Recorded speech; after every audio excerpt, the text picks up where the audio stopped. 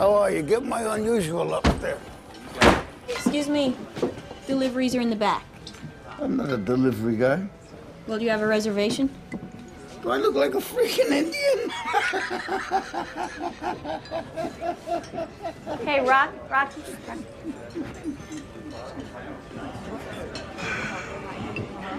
I think we got a little bit of a problem with this guy. Problem? No, no, he's just a relative. Oh, okay. Yo, Paulie. What happened to your eye? I hit it. Why? Needed to? What happened? I'm celebrating, Rock. Why? I retired. Retired. yeah? So when they start giving retiring people meat instead of watches, Paulie?